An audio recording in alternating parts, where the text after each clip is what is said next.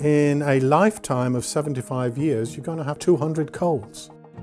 To get a cold, you've got to be exposed to the virus. If you want to avoid common cold altogether, the absolute cure, just avoid all human contact. Become a hermit.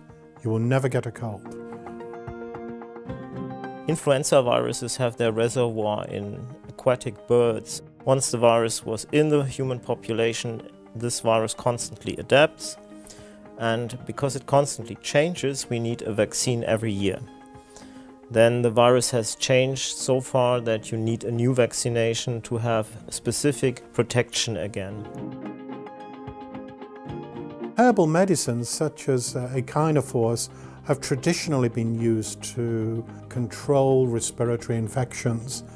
In the clinical trial that we conducted, I think one of the interesting points was that the patients who were taking Echinaforce uh, had fewer colds, but also they took fewer painkillers and common cold medicines, so their symptoms were not as severe. Prevention with Echinaforce is useful in the cold season. The moment you see people sneezing around uh, or having a blocked nose or sore throat, you should take it for prevention. So it's a bit like preventive as well as a support. And I do not know of any other, at the moment, any other agent which would actually work in that capacity. So you can take it all the time, but when it's required, it will actually help support the body.